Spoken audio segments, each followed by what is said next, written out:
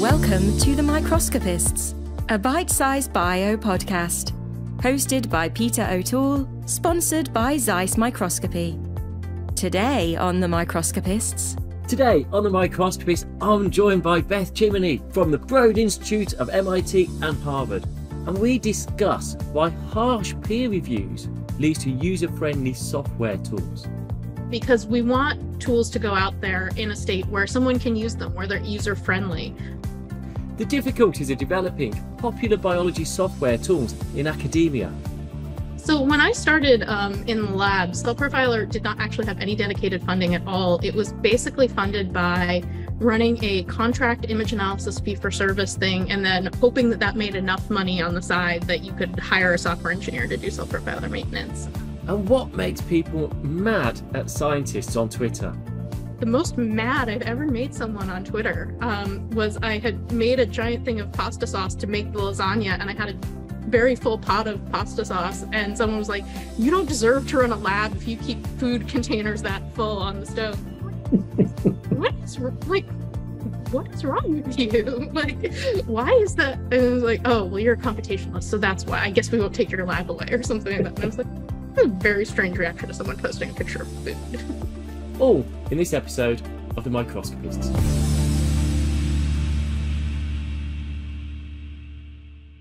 Hi, welcome to The Microscopists. I'm Peter O'Toole from University of York, and today I'm joined by Beth Cimini from the Broad Institute of MIT and Harvard. Beth, how are you today?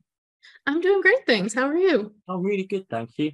I, I where to start? Actually, I'm going to start on a slightly different note, not personal, because uh, we mm-hmm. recently published. So this isn't a plug for my publication in Nature Communications, by the way. It's okay if it is. Beth actually declared herself as one of the reviewers. Now we weren't aware of that when it's being reviewed, but afterwards I, I noticed Beth's thing on, on the mm-hmm. publication. Beth, how how how why declare yourself to start with? I think so. One of the reasons um, that I've done that, I don't def, I definitely don't do that on every paper. I've had some people who do it on every paper, and they've reviewed my papers a few times, and I see the same name over and over again. Um, part of the reason on on this paper that I that I really wanted to declare myself was just um, I felt like I had asked you guys for a lot and I felt like you guys had done a lot. And I wanted to sort of like show my admiration and sort of come out publicly that I thought that with all the improvements you guys have made to the paper, that it was really amazing. And that I wanted to sort of be on record as saying that you guys had put together something really cool. Well, that's that, that so that's really kind. Thank you. I guess say so for the listeners, uh, publication reviewing as a someone who's pu- publishing and you get the reviewers' comments you look at them, you go, oh, I've got to do X, Y, Z. Mm-hmm. Uh, I've got to say, I, I, think that we had three reviewers. One was quite positive to start with and, and all slick. Mm-hmm. Two others were quite critical. So maybe one of yourself then. Mm-hmm. The paper is so much better mm-hmm. because of those criticisms. And actually, when I look back, it wasn't ready. It mm-hmm. wasn't ready. We, we I, I, think we rushed it out. Or we didn't know we were rushing it out. It didn't feel like mm-hmm. we were out. But the feedback that came back, and then the end result that's now out there, it's just so much better. Mm-hmm. And we're so much more confident that it can get used. It, it's mm-hmm. an app for analyzing data. That actually, I, I was hugely thankful of the reviewers. Uh, mm-hmm. but it's a difficult process to, to, to see it and then mm-hmm. come back and and it's really nice that people do declare. I, I, there's been times when during the reviewing process, I wish people knew that it was me reviewing because actually you can just enter a mm-hmm. dialogue even mm-hmm. and address them and, and help, uh, which mm-hmm. viewers in your case were doing. You were helping mm-hmm. forward uh, to as best data as we could in the PhD's time. So I would say it's not me yeah. or the Wiggins who and, and, Julie Wilson put loads into this far more. Mm-hmm. Uh, but uh, thank you, though. No, um, I mean, I get asked to, since we make a lot of tools, I get asked to review a lot of tool papers, and um, I think I I give those papers a really high bar because uh, one thing that um, Anne Carpenter, who I work really close with, and I, who used to be my boss for a long time, um, uh, say is um, hard on authors is kind to users um, because we want tools to go out there in a state where someone can use them, where they're user friendly because um, there's a lot of tools that people make something that works really great for them um, and it works really great for them and not a lot of other people and people try to use it and there's so many hours spent in this ecosystem with people doing using trying to use tools that someone absolutely put their best effort in but user friendly software design is really hard and it's not something that you're taught as a scientist certainly of like how do you make user friendly software. And so when i'm reviewing tool papers what i see my role as is to you know make sure it's scientifically sound which basically it always is but to also make sure that for what the paper said these are the people we want to use our tool that it's sort of accessible to the people that they say are their stated audience. Um, and i think if we do that then again sort of all of science gets a little bit better. It's hard because you don't you don't want to make somebody you know make something that has 20 years of polish with a software engineer before they publish it but you do want to make sure that um, it's accessible to the people who want to use it. Ah, as was definitely not in that case at the start because i think laura had used three different uh, software codes to mm-hmm. get because I think during the process of, and this is something actually to consider for anyone listening. Mm-hmm. You know, each step we, we, we, had an end goal for the project, which was to analyze some data. But to analyze the data, we had segmentation segmentation issues. We had the machine learning side. We had the uh, algorithm to, to the principal component analysis type outputs of it. Mm-hmm. And actually, there are three different programs that work better for each component. And essentially we chose uh, not just me you know mm-hmm. collectively the easiest package to to solve each of those three points but at the end of it they were linked together but it means you have to do one bit in one package move to another move to another which is so un user friendly mm-hmm. so the development of CellPhe in the end thanks to the feedback mm-hmm. gave enough push to make it better and it's where mm-hmm. it needed to be to start with so I, I think if we'd have in hindsight we'd have designed it knowing we had to do all these steps, but as, as a group that's never really done much in this area, mm-hmm. we, we were we, we just bodged our way there. And then you had to harmonize it all at the end. And of course, that bit is you know, mm-hmm. icing on top, but it's hard on mm-hmm. the author, kind to the user is exactly right yeah. No and, and, um you just you start with making the thing that works. That's always you know whether you're designing for yourself or someone else you always start with just sort of getting something that functions. And then it's just a question of how how much more work do you put in there? And again it comes out to if you think you're the only person who's ever going to use this code like use the code that works for you. But um if you think your code is sort of worthy of sharing or you think it will help other people then um, the likelihood that that will happen definitely goes up if you if you take the take some extra time um, and get advice and feedback from naive users is often the best way to do it um, and figure out how to get them to use it. Um, I will say we fixed more bugs than Cell Profiler in response to having uh, just sort of gone and taught tutorials with our tools and then just seeing where people struggle um, and saying, all right, I've explained this to people five times in a tutorial. That means that we did something wrong in the software. It's something where we haven't set things up correctly to help people succeed. And so that's honestly where we fix a lot of our bugs. Well, I'm going to give a shout out to Grant Calder, who's our guinea pig in the end. Once we got the app in a more polished mm-hmm. state, he still found bugs, even with the soft, uh, even with the data mm-hmm. loaded for sampling. Was anyway, mm-hmm. that, that's. But thank you. And I think it's really cool for people to be brave enough to declare yourselves. I think most people, most authors are actually very grateful to reviewers. You know, the, mm-hmm. the criticism is seldom wrong. Uh, and, it, and if they are wrong, then they've misunderstood something, and there's and there's a perspective change, which means the paper is clear enough to start with, arguably. Uh, and okay, there's always going to be the odd reviewer that is uh, somewhere out there, but yeah, it's not that often you encounter that reviewer. I don't think. Uh, yeah, no, I, I, think if you assume that someone someone's heart is in the right place, and again, like m- mine is always just around sort of let's make these things user friendly. And reviews hurt, even when they're good good reviews. If they're like this isn't perfect, you're like, no, this is my baby. I made this. how how do you mean it's not perfect? But yeah, if if the process goes the way it's supposed to go, which it doesn't always, um, then what you end up with at the end is something better than where you started. Yeah, no, so thank you very much, Beth. And we, we ought to, so actually, if you don't know Beth very well, I apologize because I haven't really introduced you fully. Uh, you, you are now really motoring in the, the way of Cell Profiler. Uh, mm-hmm. Lots of data analysis, the algorithms around data analysis, all the processing of data and images. Mm-hmm. But you weren't a computer scientist, were you, to start with?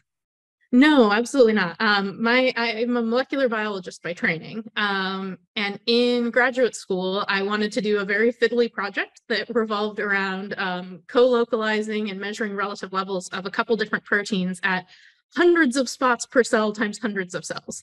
Um, and it turns out that's not trivial. Um, and I had I didn't know how to code. I'd taken a sort of two-day MATLAB boot camp, and I asked around in my lab, and I asked my friends, and everyone's like, "Yeah, I got nothing for you." So front. I'm going to need to learn to code. Um, and then I was introduced by uh, by Nico Stuurman, who was then in Ron Gehl's lab, to Cell Profiler, which uh, Anne Carpenter had put out a few years before the first version. I was like, oh, this thing's really amazing. Like, this is going to solve all my problems.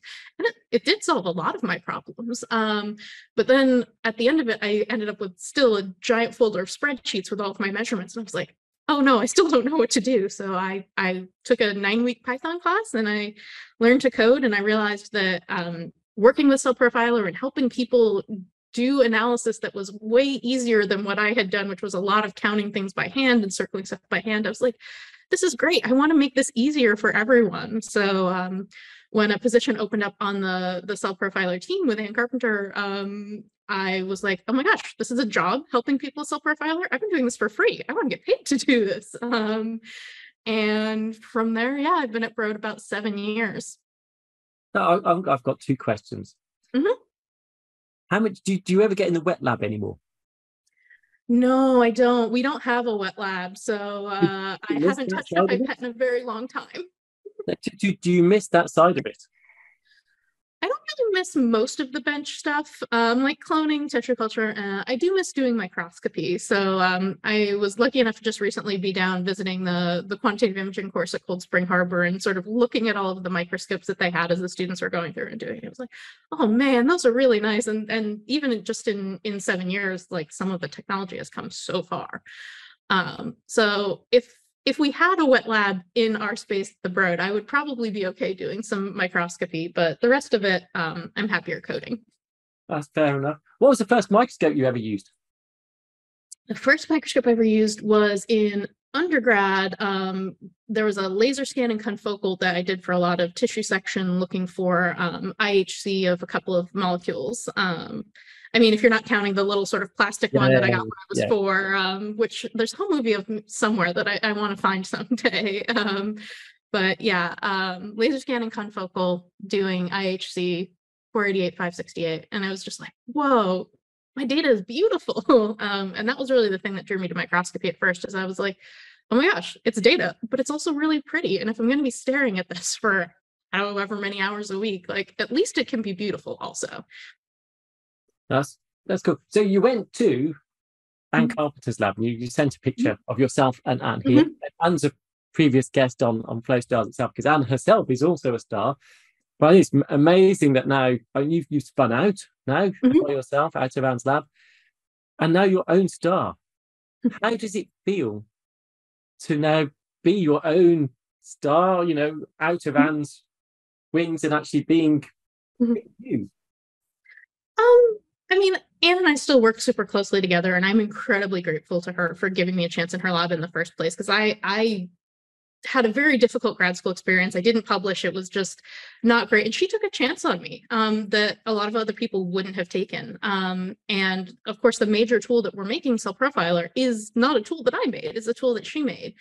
Um, but I'm so glad for her that she gets to focus on the thing that she has come to really love, which is all of this uh, morphological profiling, sort of downstream bioinformatics stuff.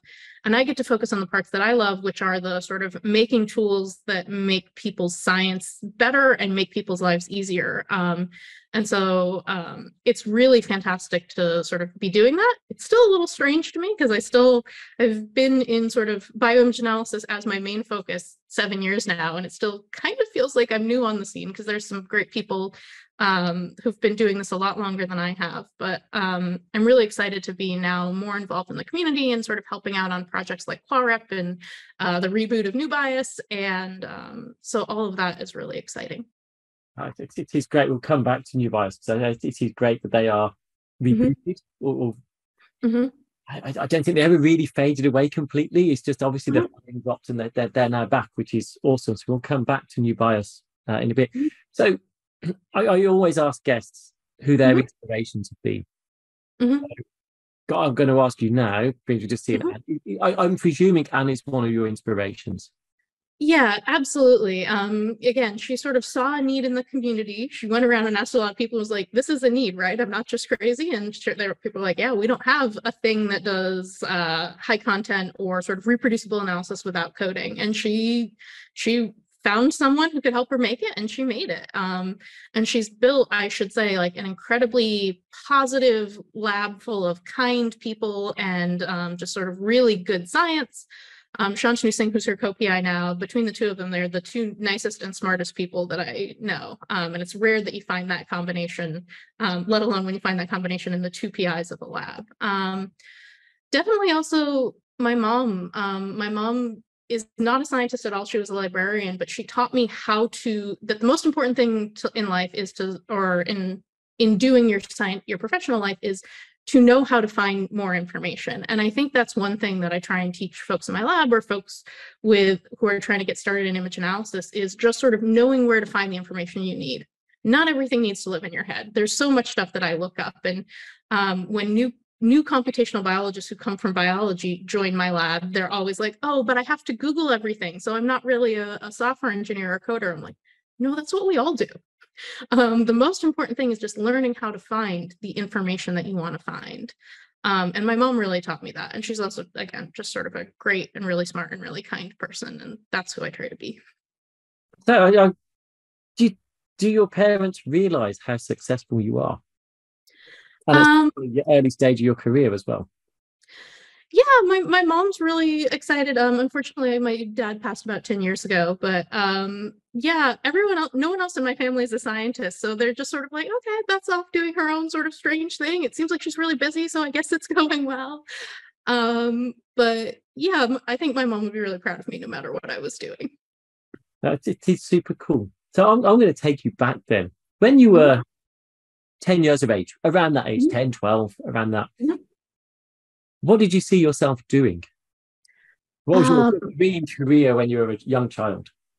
I wanted to be either a singer or an actress. Um, I wanted to be famous. And then it turns out you have to be good at those things, which I'm not particularly. So when I got to about high school, the sort of realization of, oh, like I'm not actually good at singing or acting. I love those things, but I'm not good at them. Um, I did, you know, choir and acting lessons and all of that stuff. And I'm just not very good at it. So I was like, okay, what what do I also love but am good at? And I took an AP bio class in high school and was like, oh wow, this is really cool. This is all really fascinating. So I decided to go into biology and um, from there, again, never saw myself as a computational person, never took a sort of college computer science class or anything. But as I got into, you know, using code and using computer science, I was like, oh, I love this and I'm really good at it. And so I'm just gonna, I think, keep chasing the, you know, ooh, that's cool. Um, as long as that keeps working as a career choice. I, I think that's really sound advice, actually. Follow what you enjoy and follow what you're good at. Because Mhm. obviously you enjoyed acting and singing, Mhm. but maybe maybe not good at it. Obviously, I haven't Mhm. heard you sing. Uh, are you going to ELMI or anything this year? Maybe we can get you singing at that point. Uh, yeah, I, I will be at Elmi. Uh, the last Elmi I was at in Dublin in 2018, I believe there was karaoke after. So um, I did some karaoke at SLAS this year, which was my first time since COVID. So that was really fun. That's got to be good to have you. Oh, 'cause I, so I, I mean, I know we met before Dublin, I think, but I, I certainly remember sitting. It was at the, uh, it was a, it was a barbecue, wasn't it? Uh, outside on the on the wooden benches. I remember Mhm. uh, talking to you and stuff. And, and actually going back to my PhD students, you were then teaching on a course at Heidelberg EMBL that Laura went on, and you gave a load of really helpful advice. I Mhm. think Laura's been in touch with you once or twice since by email Mhm. asking questions. Uh, yeah, I, I just so much influence. you know, I, I, I hope you appreciate, you know, that you're appreciated. Uh, and That's really nice to hear. Um, yeah, I mean, again, I love helping people. I love that moment when, again, sort of you help someone and they realize that there's this whole thing that they could do before that they they couldn't do now. I've I've loved. I did teaching in sort of high school and college as sort of like side jobs for you know for coffee money and stuff like that. But um, with bioimage analysis, we have this sort of huge gap between people who really want to do um, these analyses and really want to find things in their data and the tools just are the best that we can make them with the time and money that we have and the technology that exists but there there is a, a gap for a lot of people in terms of like here, here's what I need, and then here's what exists, and helping people over that gap and helping them get to the other side is just incredibly rewarding. So, thinking of that side, how how are how how is the work funded, and how easy is it to get funding? Because I can't imagine it's the easiest area.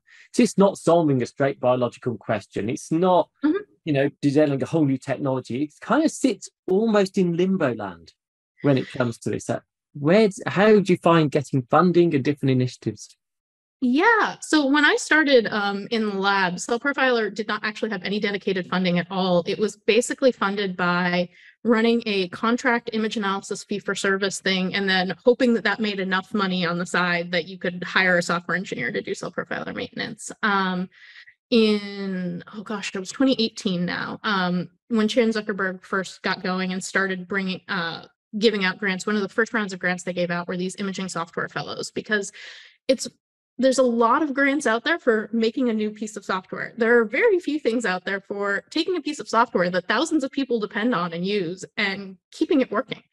Um, because it's not it's not flashy and grant organizations want to have flashy things for the most part. Um, and I give Chan Zuckerberg a lot of credit that one of the very first things they did is fund ImageJ, Scikit-Image, and Cell Profiler, a software engineer each to maintain stuff and keep working. Um, a lot of the rest of our lab's funding comes from uh, this thing we call Center for Open Bioimage Analysis, which is a joint um, grant between myself and Anne and Kevin Eliceiri at University of Wisconsin, um, which is an NIH grant where they have they have this mechanism that's about sort of taking technology and bringing it to other people and making it easier to use. And so we do um, tech development, we make new tools, um, we have a new tool called Piximi that um, I'm going to be showing at ELMI and um, that has been out for a while, but we keep adding more functionality and is a really easy way to use deep learning without needing to learn to code, um, which we're very excited about. Um, but we do it in the con not in sort of vacuum, but we do it with biological partners that we identify who have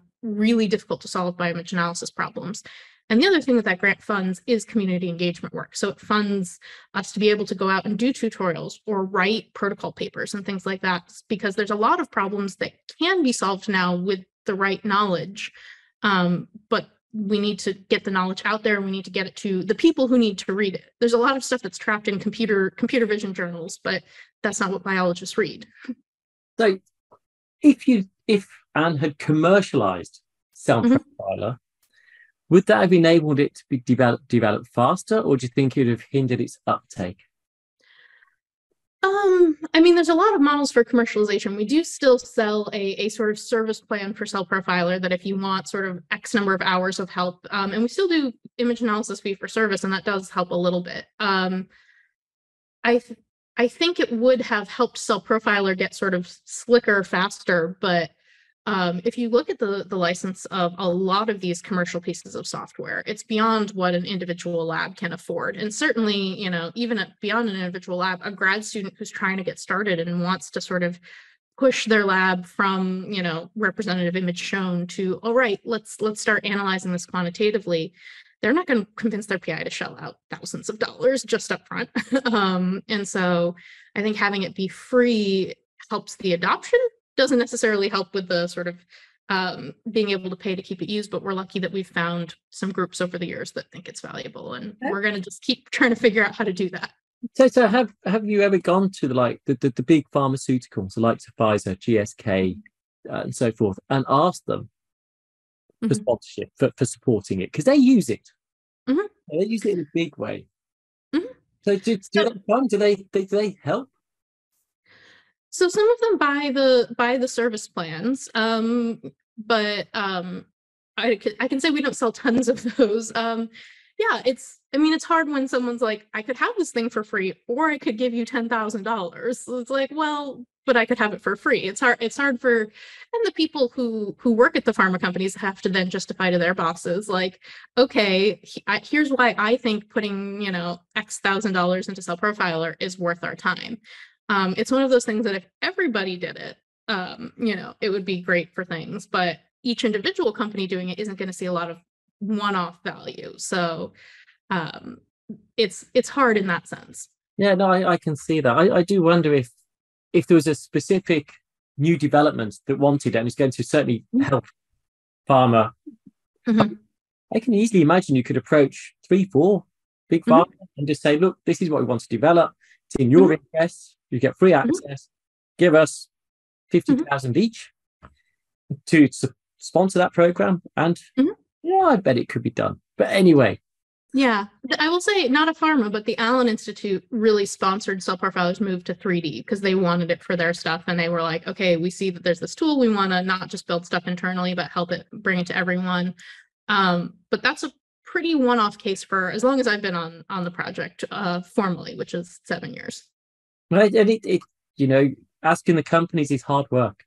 Mhm. Again, then you have to have almost a project manager to, to go out selling, Mhm. promoting, and everything else. It, it, ah, it's a complicated world, isn't it? Mhm. You touched on the machine learning side, uh, the AI, and obviously you've got a lot of the chat programs now coming through that can, Mhm. code- well, designed for coding to start with. Mhm. You, are you starting to use that to start to write some of the scripts and then edit them and correct them, or are you ignoring them, or are they a threat even? They're definitely not a threat. I mean, I think if if everyone knew how to code, that would be fantastic. Um, you know, certainly we would pivot to doing different stuff because what we do is sort of bring code to people who don't know how to code.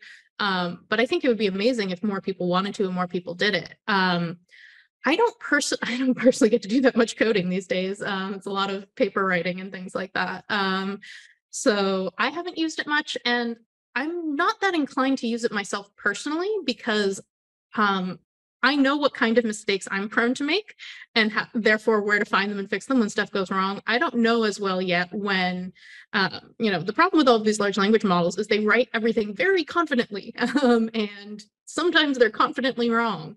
Um, and I know how to trace down my own mistakes. I've been doing that for a long time. I don't know as well yet how the kinds of mistakes it makes. But people in our lab have been using it and have said that it's one of those things that 75% of the time it works really well. And then 25% of the time you then spend two hours trying to chase down like where is the weird bug it introduced. So um probably as these things get better um in the long run it will um you know it will be faster than writing your own code but i'm i'm not fully on fully on board myself yet Okay. Um, I, I I, will say uh, Loic Royer put out yesterday this thing called Omega that's supposedly a bioimage analysis scripting thing that self-corrects errors. And so if stuff like that becomes more common, that's going to be really cool. only if it knows it's made an error. I, you know, Um, and, and I'm, going to say to your lab members, they, if they're getting it 75% there, at least they're asking it to do the right thing, which is also a skill in itself. So, so I, Yeah. it's, that that in itself is not trivial to get that close. You mentioned your lab. You sent me some pictures. So Mhm. this is a picture of your lab on a night out, I presume. So how Mhm. many how many are in your team currently? Uh, at today we have six. We fluctuate between sort of six and ten. We have a new postdoc who's starting in about a week and a half, um, and uh, one will be leaving in June and one starting in July. Um, yeah, uh, we we have a couple software engineers. We have one staff scientist who does a lot of our high content screening stuff, and the other folks are in my group. We have we have a visiting uh, grad student for the year who's been fantastic, and we're going to miss her terribly when she leaves in June. Um, but the postdocs in my lab are part of this postdoctoral training program that we started in 2019, which we call the postdoctoral training program in bioimage analysis. As far as we know, it's the only one, but um, it's modeled very heavily on Jennifer Waters's um, microscopy fellows program, um, where we take folks who have the same journey essentially that Anne and I have, where they're molecular biologists, cell biologists, you know, wet lab biologists who know a bit about uh, image analysis and a lot about imaging and want to learn more and help we help them sort of become full-time computational biologists by coming to the lab for two or three years and working on projects. And um, i should say yeah so we've we've had um, eight people start. We have three more people sort of in the pipeline and we've had six people leave and it's been really successful and also really rewarding to see people come in and develop these skills and then go off and get really cool jobs where they're paid a lot of money Oh, well, so actually, I- I've just noticed with this picture, it makes it look like I've got a candle sticking out the top of my head. Uh, so, so, yeah, which means I'm one, and trust me, I'm, I'm a lot older than one years of age. That's uh, Mhm. uh, so the, the funding, who funds those the, those fellowships?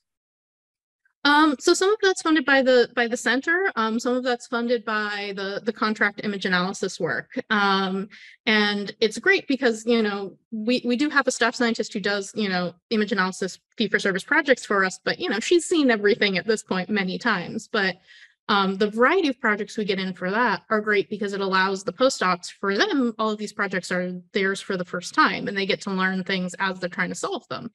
Um, and so I don't know that we'd be able to do what we're doing as well as we could if we didn't also have this commercial side where we sort of take in projects and just sort of do small 10 to 20 hour um, image analysis tasks that then we give back to the collaborators. So um, it's a weird sort of hybrid funding model where some of it's, you know, some of it's grant funded and some of it's just um, core facility funded. It, which comes back again to, I, I, think the whole community uh, mm-hmm. And I don't I actually, it probably matters very little what area of science you're in. Mm-hmm. Uh, the importance of software for analysis of data is huge. Mm-hmm. mm-hmm. And yet, still, in the funding bodies, in mm-hmm. general, quite hard to get funding mm-hmm. to do token bits, yes. Projects, a lot harder still. It's still, I'm not sure if that's the funders or whether it's the the panel that meet to discuss it that aren't so mm-hmm. into analysis and can't quite see the wider benefit straight away uh, mm-hmm. until it's developed. I J was mm-hmm. you know, really struggled, and now not only scientists use it, but home photographers, you, mm-hmm. you know, and, and, it's had a huge impact. Mm-hmm. I don't think that was funded properly in the first instance. Yeah, I, I don't know too much about the original when Wayne wrote NIH Image and stuff. I I I have the uh, the impression that you're right that there have definitely been struggles I mean, for mm-hmm. over the sort of 40 something years that it's been around. Um, but yeah, it's I one of the first slides I always put up when I give a talk is a picture, a drawing by Ramón y Cajal. Um, first of all, because it's beautiful, but second of all, because um, I think in microscopy, particularly, we are hindered by the fact that most of our history is as a qualitative technique. Um, and so I think, you know, stuff like genome sequencing, when it came out, people were immediately like, okay, well, we definitely need computers for this because it immediately came with sort of computers right alongside. Whereas we used microscopes for hundreds of years without any computers and we got along okay. Um, so I think uh, I think we're hampered a little bit by that history. Um, and it's something that is is slowly changing. You know, the the sort of beachheads are softening, but um, you know, we've got a lot, we've got 400 years of history to sort of make up for. Yeah. Well, obviously we've done our app side of it, so we mm-hmm. get it. Uh, but it is amazing if you go back, you know, you say it's been around for centuries, and you go back to Robert Hooke's pictures and mm-hmm. the beautifully drawn pictures of a single mm-hmm. insect, not of three or five of them. Just look at what's different. Mm-hmm. No, and biology, we looked down microscopes and you looked at a cell, and many mm-hmm. people still look at a cell uh, mm-hmm. and not the hundreds of cells to mm-hmm. embrace the heterogeneity and mm-hmm. identify the subtle differences and why those subtle differences exist. And what CellProfiler is, is out there to do uh, and to embrace and to enable us to make sense of it. Uh, yeah, we've talked about funding, we've talked about getting funding, setting mm-hmm. up how was it actually when you broke away from that? I, I know you still work really closely with Anne, so mm-hmm. it, it, wasn't really, mm-hmm. it wasn't almost, I, I could be wrong, mm-hmm. probably wasn't the same way you had to start in a new institute, to set up a group, but you were still, mm-hmm. now you've got your own group and have to set it up. Mm-hmm. How daunting was that? Um, when Anne first approached me about, I think we should do this, and she's written a whole article in eLife about like why her decisions around doing it and things like that. I was just sort of like, I don't really know. I was not immediately on board with this idea. Um, and it it was more of a transition than I thought it would be. So, I mean, essentially, you know, pre-split, the lab had sort of three teams. It had the bioinformatic team, what we call the image-based profiling team, um, the image analysis team, and the engineering team. And I was already running the image analysis team. Yeah, I should just say, just for clarity, this wasn't a split between you and Anne. This was Anne. No, yeah. Divide up her lab to make it more manageable or, and to be more. Mm-hmm. Mm-hmm. And she was like, So I want you to keep running the image analysis team, but as your own lab. And then also we'll fold the engineers in with you. And so it was really in at the time only a headcount increase of like two people. Um, and I was already supervising like four people. So I was like, how how much harder can it be? And it's a lot harder. um, but um yeah, just I think even if the day to day isn't harder, just the um the knowing that these people are going to rely on you, that that their salaries are going to get paid, that you're going to steer them in the right direction, that you're going to help them get the tools to where they need to be, and also them as people where they need to be. Um, the you know I take that responsibility very seriously um, because I've I've had great mentors and I've had eh, mentors um, and I want to be more like the great mentors that I've had, and I want to help people sort of reach their potential. So throughout all that, and it's been a whirlwind. It's only seven years you've been there. Now you've got your own. Mhm. This is whirlwind fast. Mhm. How do you relax? I'll tell you when I figure it out. um, yeah. Um, I I have I have a wonderful husband who I love spending time with. Um, uh, we we go to some Red Sox games each year. Um, I do some gardening at home. Um, How you sent me a picture of your. Is this? Mhm. This isn't your garden. This is just a garden box, surely. yeah so yeah this is a garden box this was the the first year that i was like okay i'm gonna get a thing and actually gonna grow some vegetables so there's some some on- spring onions there and some carrots and the carrots didn't come out that well some potatoes in the back and um yeah i mean it's certainly not enough food to live on but just sort of in terms of like oh hey i made this i love to cook so being able to sort of take it one step further and be like i not only like put the food together but um i made the food this picture of a, a lasagna. Mhm. Yeah, I swear that cheese needs more cooking on the top. Yeah, it did need a bit, but um it was uh it was something I was my my sister had COVID and I was giving it to my mom to bring to my sister and she needed to get going. But uh I was part of the that picture also was funny because was um the most mad I've ever made someone on Twitter um was I had made a giant thing of pasta sauce to make the lasagna and I had a very full pot of pasta sauce and someone was like you don't deserve to run a lab if you keep food containers that full on the stove. Like, what is like what is wrong with you? Like why is that? And it was like oh well you're a computationalist so that's why. I guess we won't take your lab away or something like that. And i was like a very strange reaction to someone posting a picture of food. Was she? Was that person serious? I don't know I'd take. i think so I always try and see the positive. I'd take it as tongue-in-cheek humour, but but no, I, I know some people are actually. Yeah, Mhm. wow. But, but I will say I can't believe I've criticised your cooking. But if it wasn't cooked, you're going to make your sister even sicker than COVID. if me. Come on. no the lasagna was cooked it was just the the cheese needed a little more browning but I'm teasing. i know So, uh, what is your signature dish if you cook at home? Um, the first thing I ever learned to do was sort of uh, pasta in uh, pasta with seafood, usually like shrimp or scallops with um, sort of butter and garlic and white wine because it's really simple, but it basically you can't screw it up just about. It's it's really nice. Um, I do love cooking Italian. Unfortunately, my husband doesn't really like Italian. We end up cooking a lot more um, Asian and Mexican and sort of global flavors. Um, just because in Massachusetts we don't get as many of those. There's a lot of pizza and you know not a whole lot of other global flavors in Massachusetts. I, I, I'm I'm still taken aback that someone doesn't like Italian cooking. That's He amazing. apparently grew up with a lot of bad Italian cooking, so uh, there's apparently some some stuff related to that. I, he, he, he may still get there. Come on, Yeah. he must eat pizzas. Surely he eats pizzas. Oh yeah, pizza yes, but sort of tomato sauce is, is you know kind of hit or miss with him. Oh, wow.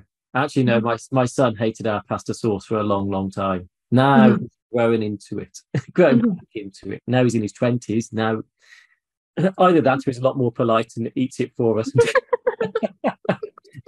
I'm not sure which. Mhm. so, also outside of work, you sent me some other pictures. Actually, you sent me a picture of Mhm. Boston Red Sox.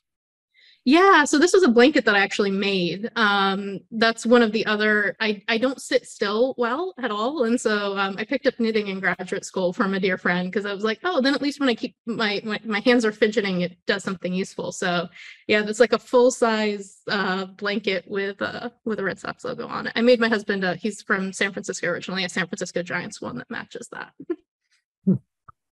how big roughly are these? Um, six feet by like three feet. I knew you were going to give me that in imperial measurements and not metric. Sorry. Yep. Two meters by one meter. We'll go metric. Yeah. You're a scientist. It's meant to be metric now.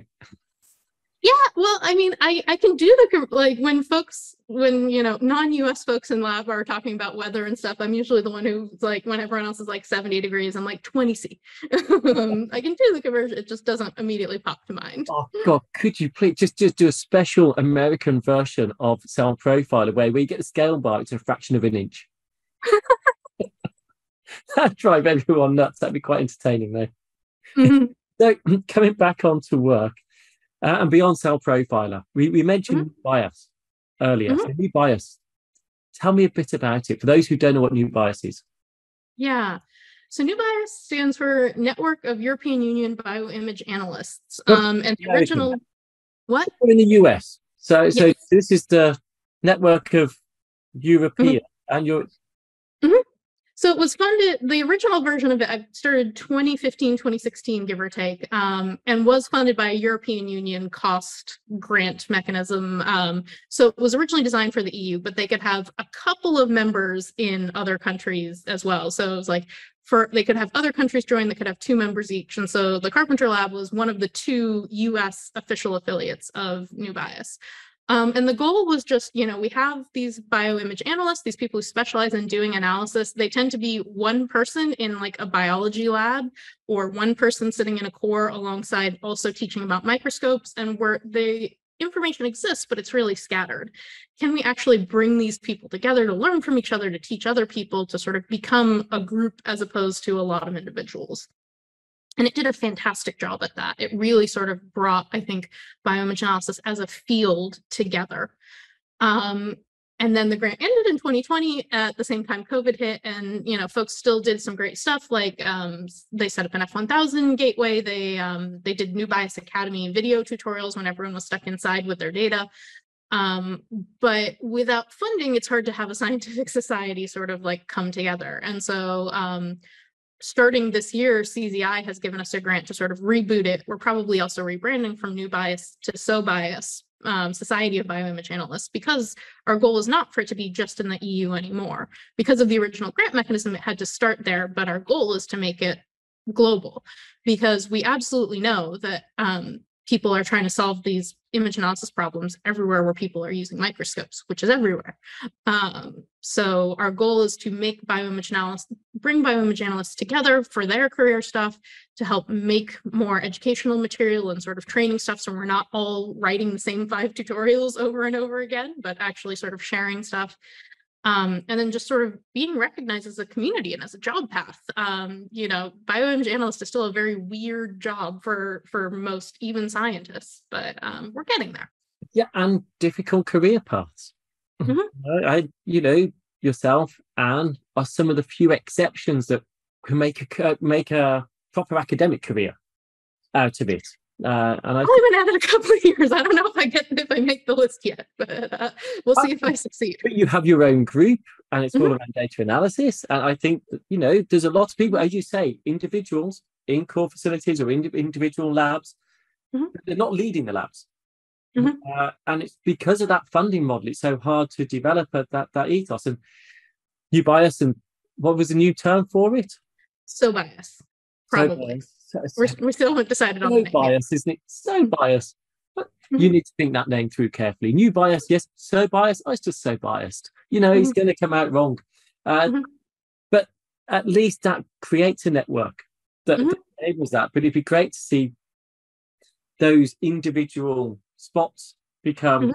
groups and, and have more of them and network brilliantly Mm-hmm. it is one of the most networked communities Mhm. Probably scientifically it's one of the most networked groupings because it is so international and Mhm. always works together you mentioned chan zuckerberg uh, chan zuckerberg initiative uh, a couple of times how Mhm. many CZI projects are you involved with Um, four at the moment.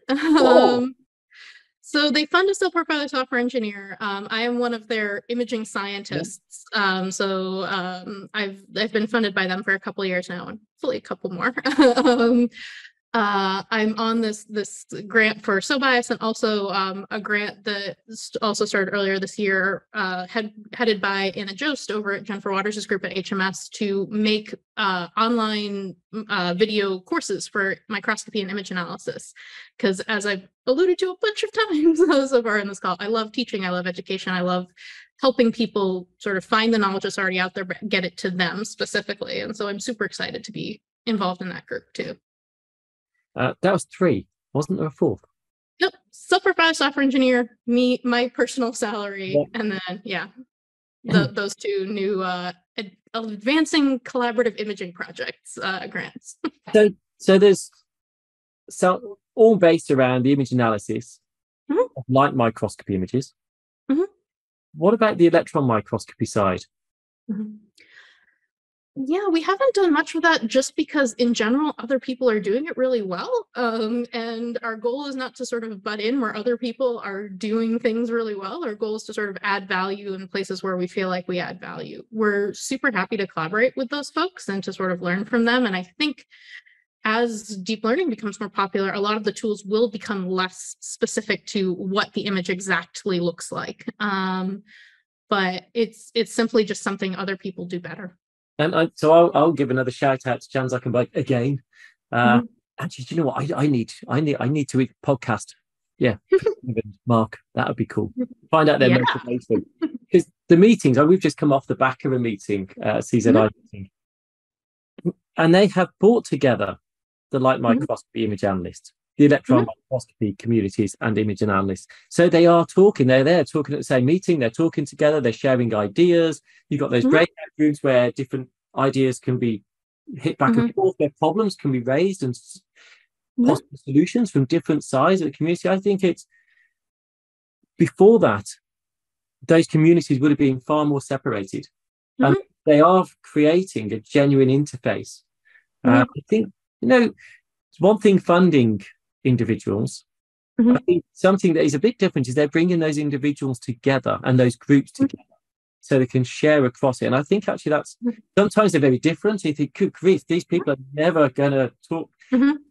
because there's such a variety, it's sliding, sliding boxes. Mm-hmm. And everyone's super cool. Yeah. It's it's one of the friendliest and again sort of the idea of somebody else is doing this better let me just point them at that direction i mean there's enough work to go around so but rather than people trying to compete and one person trying to say I am the king or the queen of image analysis and all of you are below me. Like everyone just is sort of like, yeah, let's work together. Um, which I love about this community. I'm yeah, I'm super excited that EM folks are getting bring brought more in. I'm excited about this um initiative about bringing in more of the medical imaging stuff too, because it's crazy how much sort of EM, light microscopy, and medical imaging all are solving very similar problems and don't talk to each other. Um, it's kind of wild. And so I'm super excited to see people sort of trying to bring these groups closer together and sort of stop trying to resolve the same problems over and over again in different fields. Yeah, and that's almost where you need international funding. And, and they partly do fund international. We need even bigger. Maybe that's where they dovetail into Bill and Melinda mm-hmm. Gates. And you said you love training. Mm-hmm. this is mm-hmm. one of the training courses that you are. Yeah, so this is the training program that I mentioned where um yeah, I've got my my awesome folks. We've got uh like I said three more starting and um, I particularly give shout outs to um, Nassim Jamali and David Stirling, who were the first two who sort of took a chance on this entirely unproven model of can we, you know, we knew that we had had some people come through the lab and sort of, you know, start off as as biologists, sort of uh, computational biologists, big B, and then go back to sort of like balanced C and B. Um, but they were, we started this new training program and they were just like, cool, sign me up. Um, and they both did amazingly well and learned a ton and are now sort of impacting things um, elsewhere. And um, it's been absolutely my favorite part of the last five years has been having those people come through my lab and sort of start their scientific careers and push them in new directions and then, you know, get offered really great jobs that they're really excited about at the end of it. And you mentioned how some of them go off to I, I mm-hmm. presume into industry as well in some cases, because you mentioned they're getting paid very nicely or mm-hmm. sort of handsomely mm-hmm. going through to industry. Do you feel that the amount industry pay, especially computer scientists that can go into uh, and not just into science, but can go into uh, banking industries, Mm-hmm. market industries, and so forth, and they, they pay mega bucks. Do Mm-hmm. you see that as a prohibitive of attracting the best talent into the scientific image analysis community? Um, it certainly makes it harder, you know, when you know that a that a good software engineer could sort of walk across the street, and in our case, it's literally across the street to Google and um, and go make twice as much money. Um, um, I think for a lot of the problems we're trying to solve, um, having a lot of domain expertise helps for many of the things, which is why again we pull from biologists um, and then sort of give them the computational skills because there's a lot of stuff that is different between how microscopy works in theory and then how microscopy actually works when your secondary antibody, you know, the the fluorophore dissociated from the antibody, now you've got speckles everywhere, or you know, all the gajillion things that your fixation, you know, didn't quite work. There's a gajillion things that can go wrong um, in your sample on the way to the to the detector, and so um, having that domain expertise helps. But um, we've been fortunate that we've had a couple of fantastic several fantastic software engineers in the group during my time um, but yeah absolutely it's a little bit hard sometimes to understand why they want to work with us when they could go across the street and make a lot more money but i think some of it's for the love of making the world better and making making something that they know is going to get used and is going to improve sort of all of science I, I remember talking to I think it was Pearl Ryder, Pearl Ryder and Mark Bray, and I can't remember which went on to, wanted to do a Mhm. medical MD because you know they wanted to help people, and MD wasn't for them as it turned out, Mhm. and they turned to Mhm.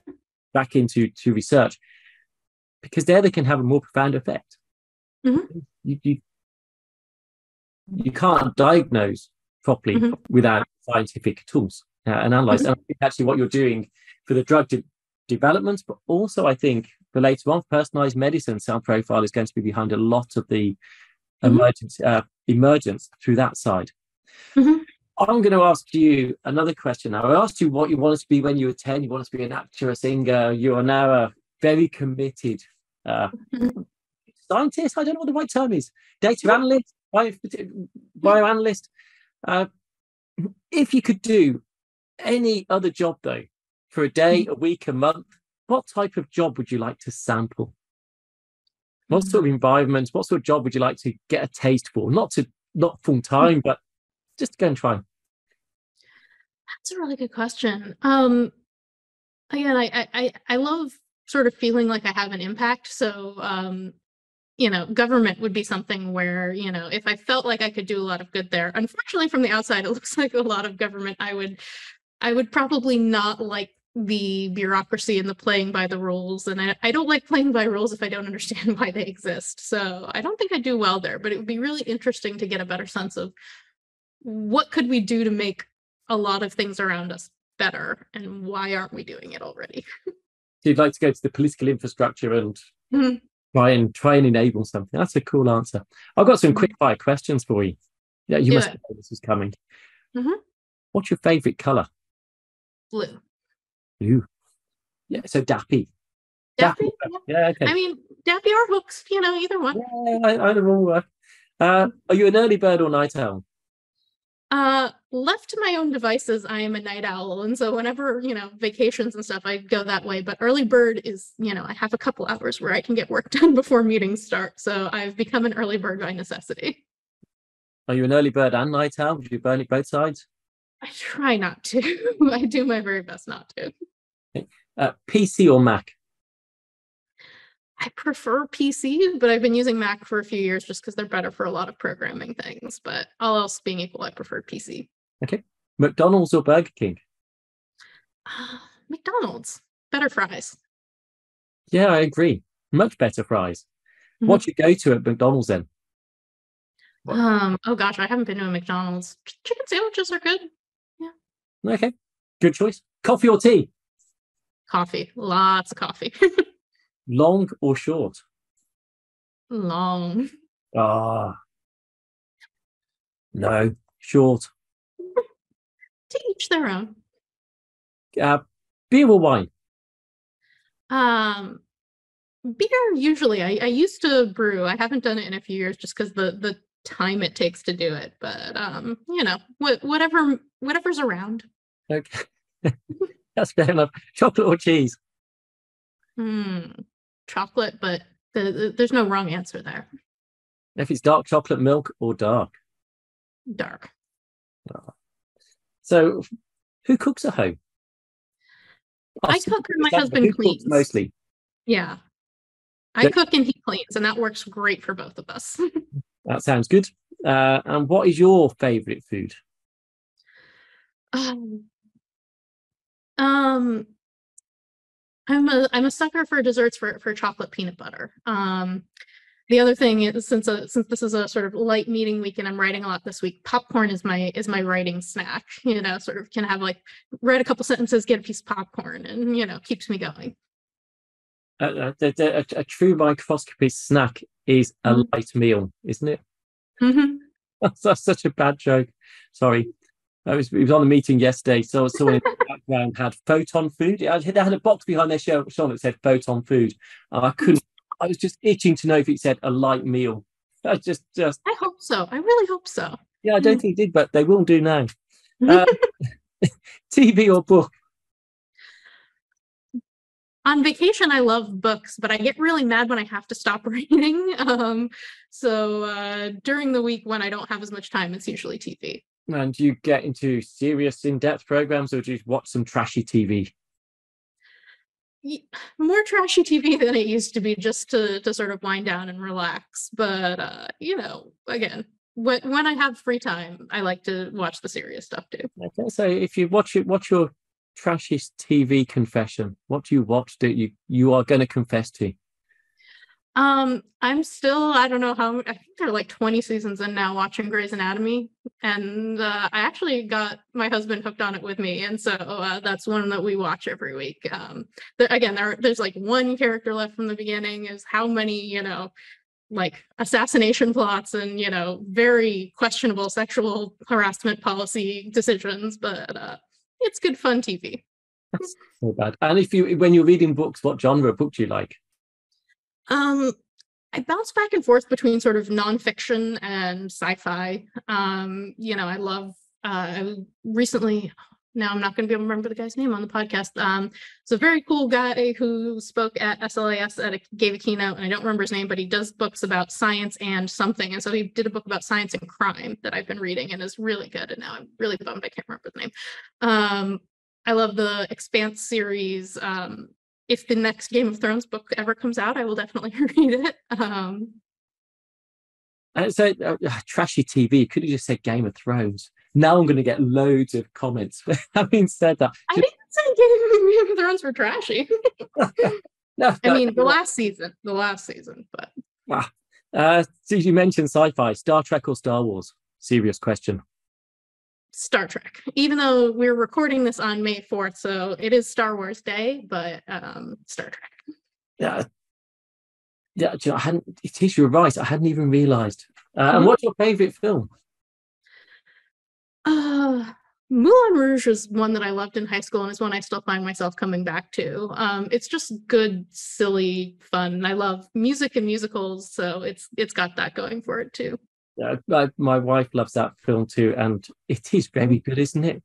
Mhm. In Broadbent, oh, Mhm. awesome character in it. There's a really good uh, Fatboy Slim version Mhm. of the Mhm. movie with uh, Jim Broadbent. Mhm. Yes, The, the the new musical version of it, like the Broadway musical, is actually pretty good. So if you get a chance, check it out. yeah, yeah. London sells out really fast. I have tried. uh, what's, what's your favorite Christmas film? Oh, I gotta go with classic. Go with "It's a Wonderful Life."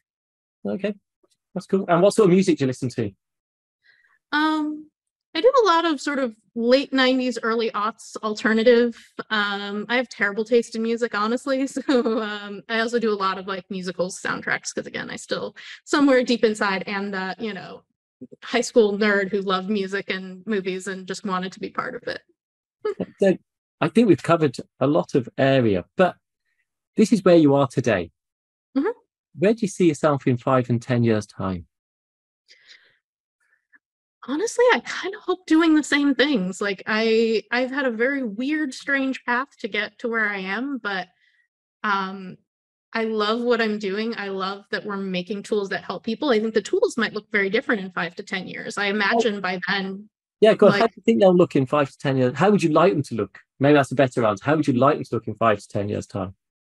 Um, I think there are some parts of image analysis. So segmentation is coming close to being um, a almost solved problem with neural networks. Um, it's not fully there yet, but compared to you know five years ago, um, you know, Cellpose 2 is so good. It is like ridiculously good. Um, uh, we had Carsen Stringer over for a visit recently, and I was just totally fangirling the whole time talking with her because it's so good.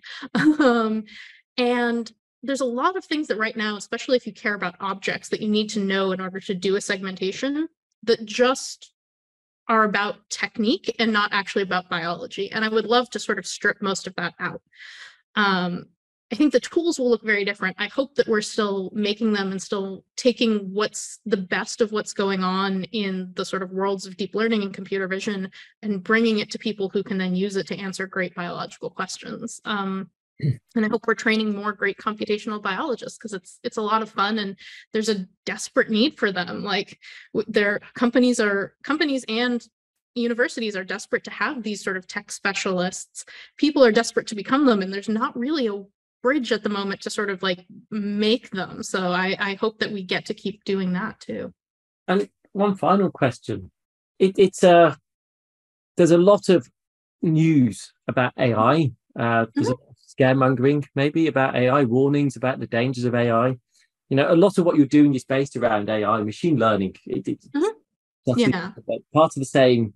It's Mhm. it's under the same umbrella. Do you fear that there might be a risk of a public backlash against AI that may then actually make funders be more risk averse and not Mhm. not put funding in what the public are backlashing against? Bit like GM. I think GM for a while got a bit. GM is now back. Mhm. It had a very bad press, and if you're in the GM field, suddenly it's like, oh my goodness, funding has dropped through the floor because of public perception. Mhm. Do you fear there's a risk with that around AI? That's a really good question. Um, I mean, anything humans make and humans use has a has a possibility of going really well or really poorly. So I I think I think AI is is just one of that class. Um, I think that in general, the even if the the national funder, like the grant funders, stop funding this, um, the companies find it so useful. Like Google's not going to stop, Facebook's not, or Meta now is not going to stop. Um, whether or not they're giving out grants to other people to work on stuff, but um, again, I think like any human tool, there are ways that people are using it right now that are horrifying and that I can't stand, and there are ways that people are using it that make the world a better place. And uh, we just have to sort of do whatever we can to try and make sure that the people who are using it the right way win. Yeah, I, it'll be interesting. I, I think it's so different to how the, the chat things are one thing, and that's Mhm. the public are getting more scared. I think using it as a Mhm. scientific tool Mhm. is a completely different objective Mhm. uh, in my mind. Anyway, in my mind, it's it, it- they are yeah very very different, but but the similarities are there that, that I Yeah, um, there there was a, a paper not too long ago that um, someone was saying they were trying to train AI to make to figure out if drugs are going to be toxic so that you make fewer toxic drugs, and everybody wants that. You want you know more drugs and cheaper and stuff, but then they realized that oh crap, we can't put this out because if you run it in reverse, you invent all Yeah. sorts of chemical weapons. Um, and I was just like, oh my gosh, I never would have thought about running it in reverse. Um, so we have to be careful. We like if we're making really powerful tools, whenever you make something really powerful, you have to think about how it could be used for harm. And even the sorts of things that again, like is not like a large language model, but something that's just predicting drug safety could be misused in the wrong hands. But um I think at this point the genie's out of the bottle. Well, I, absolutely right because now we know how to do it. Mhm. Can use it for bad, so you might as well use it for good. Mhm. And hopefully, the good outweighs the bad, I guess. Yeah. We we are just over the hour. Uh, thank you so much for joining me today. I, I can't wait to see you, uh, ELMI. So I will see you soon. I will be buying Yeah. beer. Uh, I don't get chocolate peanut butter, but who knows? it might be over there in Amsterdam or near, sorry, Netherlands. Uh, it's been super cool to chat and get to know you. Yeah. Uh, no, it's, it's been fantastic. Just keep going with what you're doing, and I hope that in ten years' time you are still there, still Mhm. making CellProfiler, or the next iteration, whatever it may be, Mhm. uh, for us all to use, and, and for all of us, everyone, Mhm. be benefiting from as, as that develops its its u- utilization. Thank you everyone for listening to the microscopists. Uh, don't forget, Beth talked a lot about Anne Carpenter. You can go and listen to Anne Carpenter. Mark Ray, and Ryder, also out of Anne's lab. I think it's most people I've had out of one lab ever. Uh, but that just shows the impact and the importance of the research. And it's great to have Beth here today. You are the Mhm. future for this, and it's marvelous to have you here. Thank you. Thank you for listening to The Microscopists, a bite sized bio podcast sponsored by Zeiss Microscopy. To view all audio and video recordings from this series, please visit bitesizebio.com forward slash the dash microscopists.